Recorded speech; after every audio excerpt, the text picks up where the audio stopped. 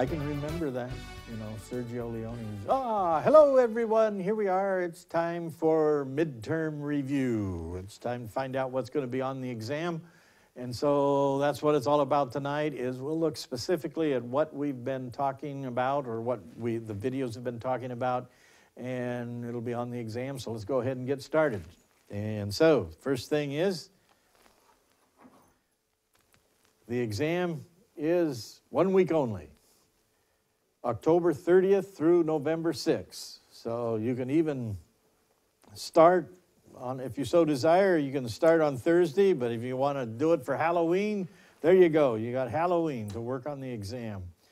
And it'll be, uh, again, October 30th through November 6th. All right. It is in the social science testing lab. And uh, uh, some people don't get this right. They, they send me emails all the time saying, What's the link that I can take the test? No, you have to go there. You can't take the exam at home. Um, you have to go to the social science uh, testing lab or uh, in Cottage Grove in Florence, works, but you have to be there to take the test. So it is uh, available then during their hours of operation. It is a computer exam. That is, it's an objective exam. You'll just there, there are no written essay type questions, and there will be 50 questions.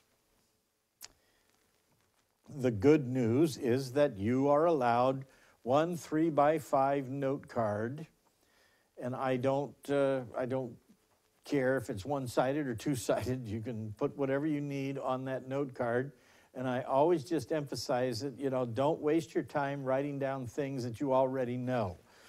If you have, if you know the history of, of the genres and all of that, there's no reason to write that down. But uh, stuff that you are un- unsure about, of course, that's what you write down to assist. And the way you will know that is when we get through this study period tonight which reminds me that study guides are now available on Moodle.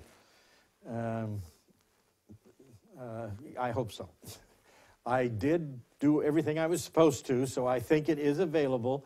So you can download the study guide. It is probably a little, has a little bit more information than what I give you tonight, so it, it would, it helps you there. All right, moving on. I just want to remind you that you are responsible for the exam.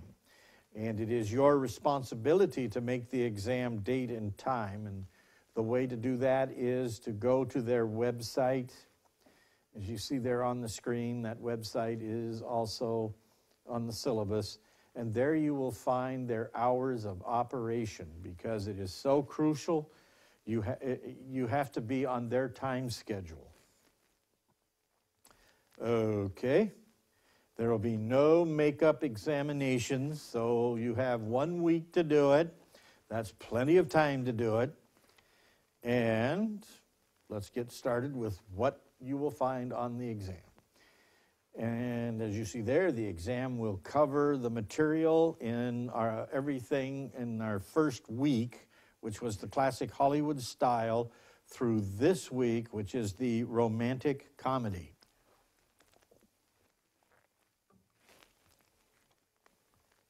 Okay, to begin with, you must have a good understanding of the overview of the American movie industry, which is essentially those three things right there.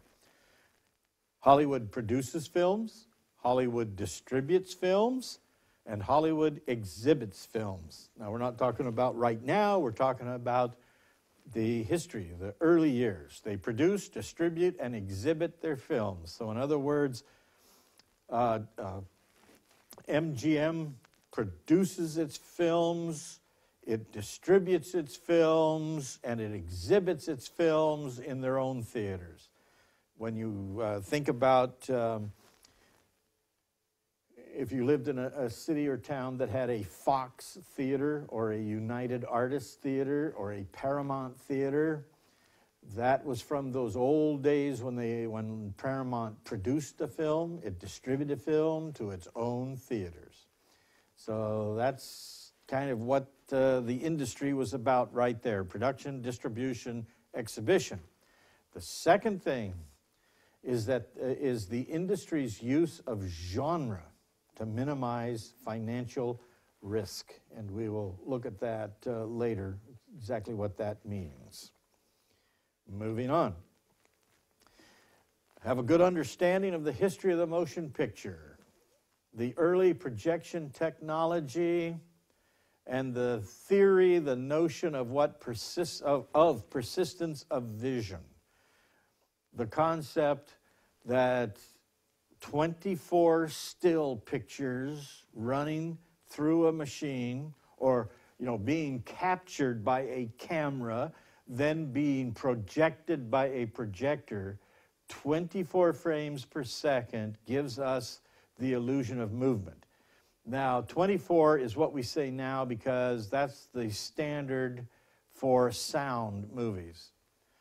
For silent movies back in those old days that uh, a persistence of vision and the frames per second was anywhere from you know roughly 16 to 20 mostly it was like 16 18 frames per second that gave us the persistence of vision that gave us the idea that there is movement. Also uh, have an understanding of the key innovations and the individuals responsible. Recognize that our early movie machine was a kinetoscope. Uh, recognize the contributions of edison or at least have a good you know understand that edison is our, our primary source here. And uh, Dickson uh, have an understanding of the Nickelodeon era, what that meant, the beginnings of movie theaters. Um, instead of um, just, just being an empty room where uh, somebody set up a projector, a novelty item, and you come in and you see moving pictures. But the Nickelodeon era is the beginnings of the industry, the theater industry, movie theater, or what you'd say in, in the UK, the cinema era, uh, where you go to these movie theaters specifically to see the, uh, movies. Have an understanding, eh, basically what it is, the MPPC, which is the Motion Pictures Patents Company, which is the company set up by Edison to protect his, his movie machines. And the movie palace. The Nickelodeons give way to the movie palace huge theaters, huge places where you go to watch movies.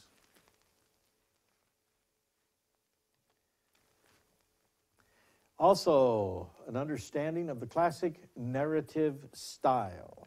It's the ways in which stories are told cinematically.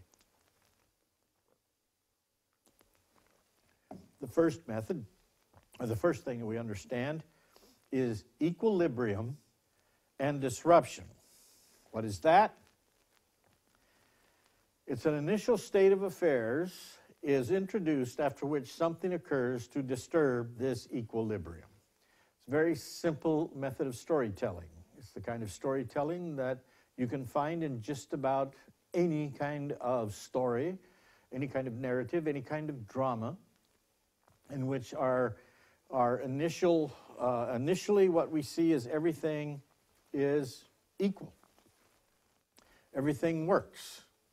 Everything is calm. And then something happens to disturb the equilibrium, to disrupt it. Okay, secondly, subsequent events attempt to restore the original status quo. But this is repeatedly frustrated, and order is recovered only at the end of the film. So, in other words, when our movie starts, everything's fine. Everything looks normal. No problem. Then something occurs. It can be anything. It can be a crime. It can be an act of nature, such as a hurricane, a tornado, earthquake. But something happens that disrupts our equilibrium. The effort then is all the events to restore our equilibrium. But as we make this effort to restore it, we are frustrated. Things occur that we can't complete this task. and that finally order is restored at the end of the film. Okay, the second narrative style, the second way we tell stories here is problem solving. Over the course of the narrative, characters struggle to achieve their goals or solve their problems. They overcome those who stand in their way, they triumph over adverse circumstances and or transcend their own limitations. So, problem solving. Our hero must solve problems in order to return equilibrium. And then they talk about temporal and spatial limits. The temporal dimension is a specific deadline has to be met or a certain task has to be completed by a definite time. When I think of that, I'm always reminded of a film that was made in the late 1940s called DOA, in which our main character has been poisoned and he is going to die. But he has to solve the crime. He has to solve, find the murderer, find the guy that's killing him, that's killed him and uh, he has a definite time. You know, he's got like, uh, if I remember correctly, you know, the film runs like 90 minutes or something like that. He's got 90 minutes to solve it. The spatial dimension is characters moving toward precise destinations or geographical goals. I think of this in the, the countless number of westerns about the pioneers heading west because uh, they are moving in a geographical way to a goal. They're trying to, to reach uh, the Oregon Territory. Excuse me. Which, of course, is number four, the journey. Now, our video series likes to talk about it this way the journey is number one, a narrative. Characters move not only spatially, but they realize other non spatial goals as well, such as making deadlines, solving mysteries, falling in love, discovering new worlds, and coming to terms with themselves and or their fellow travelers. So, yes, we do have a kind of physical journey like what we just mentioned like the the covered wagons going west but the characters also are on their own journey and they move in emotional ways, in intellectual ways, spiritual ways, and so forth. And usually to a goal, and by the time that they have reached their spatial goal, well, they have reached their physical goal, they have often reached a, a new point in their own lives. The second journey is the audience's journey. Our film series like to say that we are going to the movies. In other words, we as an audience actually get up and go somewhere to see it. What we see on the screen as well is what we are doing at that very moment. We are looking for goals. We are participating in deadlines and we are undertaking journeys as well. It's a vicarious experience we sit through the movie. The struggles of the hero become our struggles, and uh, the triumph of the hero is our triumph. And the last comment here that our film series talks about is segmentation. It is dealing with Aristotle's traditional unities. Okay, now what we mean by that is segmentation or what we mean by segmentation, is a process of structural analysis that breaks the film down into its basic narrative units. Now, what, what we have with regard to Aristotle, the dramatic unities, which are action, time, and space, what we have is that most films violate the traditional unities and lend themselves to this segmentation. Now, think in terms of it this way with regard to segmentation, especially if, if you're a filmmaker you know how this works, and that is we have what we call a shot and a scene. Our shot is turning the camera on, turning the camera off. But a scene is the initial or, or uh, a basic narrative unit of a movie. And we know that we make films in, uh, in a segmented way. We shoot scene one, and then we might shoot scene 12, and then we might shoot scene 24. And then we move on another day and shoot scene two, and so forth. And what we do in the editing room is we put those segments together so it makes a logical and coherent whole. All right, now what? Classical film style with regard to the film techniques and the relationship to narrative. Understand these terms, understand these concepts, understanding what mise en scène means. Mise en scène is the French word that is used, uh, which, which means roughly putting on the scene. What we talk about with mise en scène is everything that you see within the frame. That's everything that you see within this frame. So if you were looking at a movie and you were talking about its mise en scène, you would see in this particular frame, you see this crazy old guy up here with his mouth flapping around and his hands doing all kinds of weird gestures, his body moving. And then, oh, what happened over here? His hand is gone. We're not too concerned about that missing hand. We're just concerned with what is within that frame, including the weird thing that is behind me over here. That thing, right behind me there. Those are the only things you see within the frame.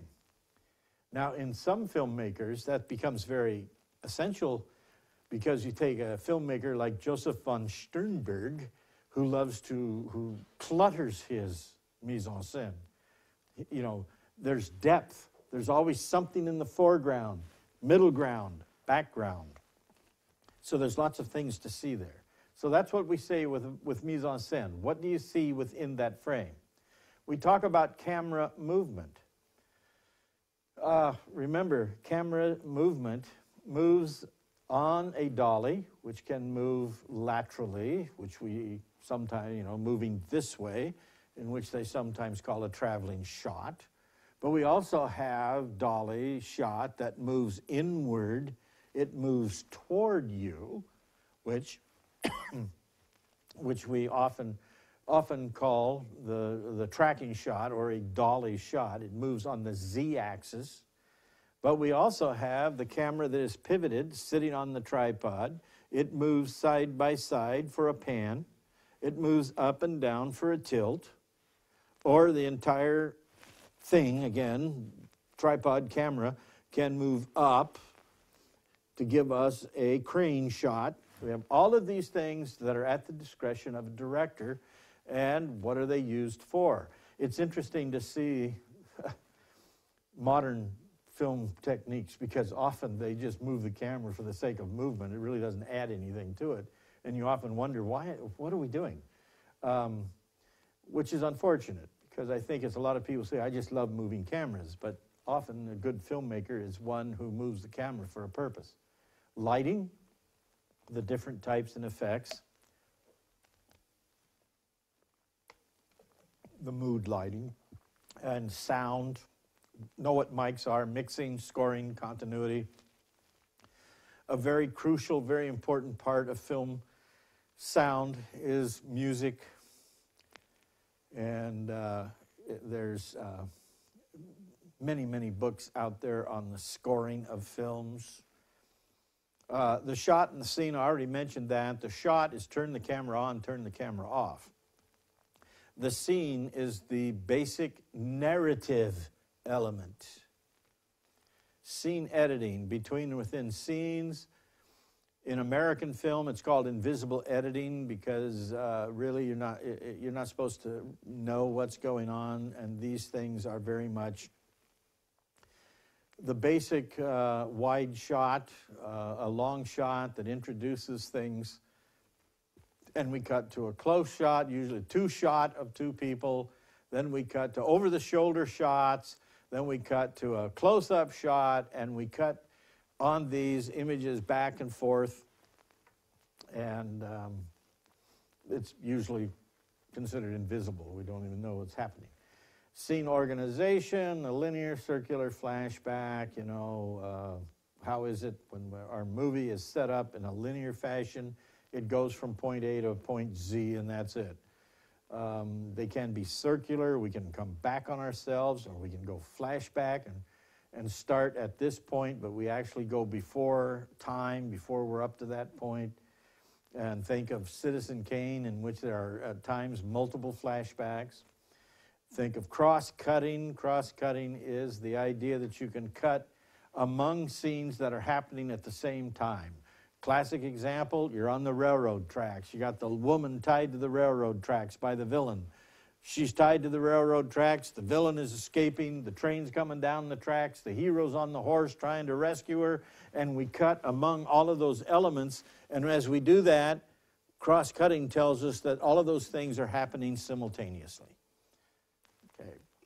Point of view editing, you know, point of view is usually it's an omniscient kind of point of view, but we, we can do first person and also the 180 degree rule, which is don't cross the line, you know, to maintain continuity. And okay, move to the studio system. I already mentioned the Motion Picture Patents Company.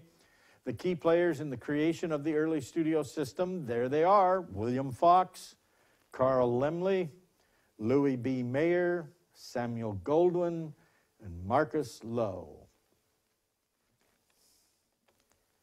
The strategies of control. Remember that it's an oligopoly, it's vertical integration. Vertical integration is what we already mentioned that's production, distribution, and exhibition. Have an understanding of blind booking and block booking. You know, like uh, blind booking is essentially you have to, theaters would have to book a film without ever seeing it. You have to pay for it, show it without even seeing it. Block booking is if you want our good movie, you have to take all of our crappy movies too. Uh, run zones, clearances, all of that stuff you can find in the book. The Sherman antitrust ruling against the MPCC in 1915 more or less freed up movies to be used by anybody and everybody. That Edison no longer could control it, that the, they considered it a trust, uh, and so they broke it up. Also, the five major studios Paramount Pictures, MGM, which was owned by Loew's Incorporated, Fox, which became 20th Century Fox, the Warner Brothers, and the RKO Radio Pictures. RKO standing for Radio Keith Orpheum, and Radio Pictures, the result of Sarnoff uh, and his uh, trying to, to uh, uh well, he owned, he owned NBC, he owned radio station, and, and he owned all that technology. He owned RCA, and he just wanted to get all of his uh, uh, equipment out there in the movies, so he, he buys a movie studio. And the three minor studios Universal Pictures, Columbia Pictures, and United Artists. And the low budget filmmakers known as Poverty Row. These are these corporations here Republic, that noted for its serials, Monogram Pictures, Grand National, PRC, Eagle Lion, Allied Artists, and American International. All of them uh, very low budget, or let, let's say budget conscious studios uh, have an understanding of the Department of Justice Paramount case in 1948. That's an easy one. That's simply know that in 1948 they had to break up their oligopoly. They had to give up production, distribution, or exhibition, so they gave up exhibition. The effect of breakup on current film production, which is essentially that the studios are just bankers. They, they finance independent films. The average cost of production over time always skyrocketed where you can spend $200 million on the Lone Ranger and have it flop and make 50 cents and wonder where am I going to get my next 100 million. The rise of film artisans, independent film producers, the result of that breakup. And the old studios, as I mentioned, are now financiers and distributors of independently made films. The Star. The Star have master personas created by film studios um, the role of mass media and the public in making and breaking stars is very simple. A star is the result of the public. The public likes it. The, they want more of this person, this star. At the same time, the public can turn against you and you're nothing. The blacks and other minority stars, for example, Sidney Poitier and how they fit in. The black, black exploitation movies of the 70s, And the, idea that since the breakup of the studio system, stars can make it via other media, and uh, primarily that's television. And we move on to genre. the ability to categorize movies. Genre serves to stabilize an otherwise unstable movie industry, and they do it through familiarity. Each new film banks on a number of familiar elements, motifs, and themes, but in a new way. Think of it if you're a musician in terms of theme and variation. It is, we know we have bazillions of westerns out there, but they're all done in a different way, and we like that. We want to go see a western, and we enjoy it when they're done a different way, especially when we say the best westerns are made by one guy like John Ford, and you go, yeah, I want to see more of those westerns by John Ford.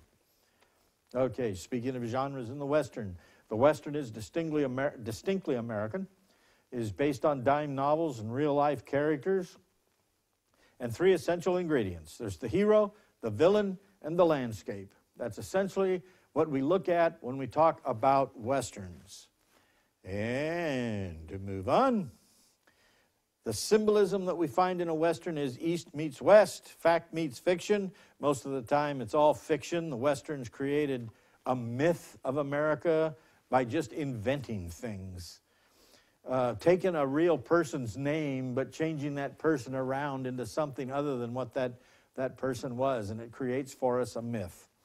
Culture versus nature, often, you know, the, the nice thing about seeing a Western is the panorama of, of the, the West. And cultural conflicts in the modern type Western is space films, the final frontier. Then moving on to American comedy. What that's all about is comic expression of social repression. We know that it's, um, it's, it, it's uh, the societal, you know, especially in the 1930s, uh, during the Depression, it was fun to just destroy uh, the upper crust, the ones who still had money. Themes of American, uh, of American comedy are racism, social integration, the comic disintegration and disorder, and containing chaos. Those are all terms that you can find in the book. I wouldn't worry too much about getting absolute definitions about it, just having a basic understanding of it. Also with class and democracy. But do know the popular comedy actors, the history and type of comedy that we have seen. In silent comedy, it is essentially slapstick, it's physical comedy. And that's exemplified by Chaplin and Keaton. With early sound, it, it remains, there's a lot of slapstick, but there's also verbal wit, and that is best expressed by Laurel and Hardy and the Marx Brothers. The screwball comedy is a hybrid of the romantic and the slapstick. Um, that's especially true of, of Preston Sturges' work, where he has lots of pratfalls, but the verbal wit is very strong. Comedies following Screwball, these are thesis comedies, the black, the dark comedy, animal and raunchy comedy, family comedy, and so forth. Blah, blah, blah. That's about it. If you are confused, bewildered, rattled, depressed, and desperate like I am, then you can stop by during office hours or you can send an email and I will try to set you straight. I will not guarantee it, but I will try to set you straight. Remember, the study guide is available online. Go to Moodle, download it, and uh, it, there it is. It's on the web. There'll be no makeup exams, and you're responsible. The end. Thanks. Have a happy Halloween. Enjoy yourselves. Bye. Any questions?